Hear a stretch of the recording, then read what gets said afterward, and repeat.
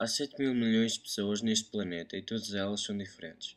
Existem muitas características que nos distinguem, mas nos dias de hoje há algo que nos diferencia, que nos divide e define quem nós somos.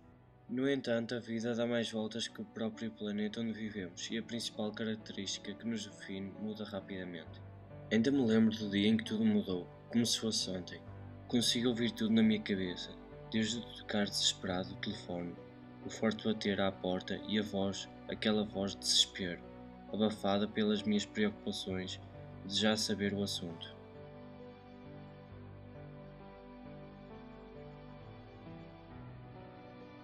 Tinha perdido tudo.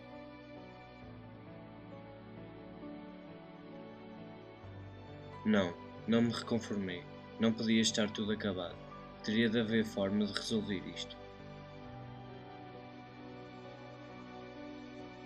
Ainda me lembro do dia em que tudo mudou, como se fosse ontem.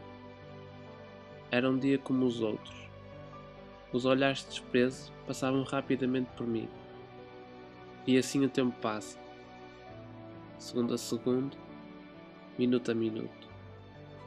Mas algo no meu caminho estava prestes a mudar a minha vida.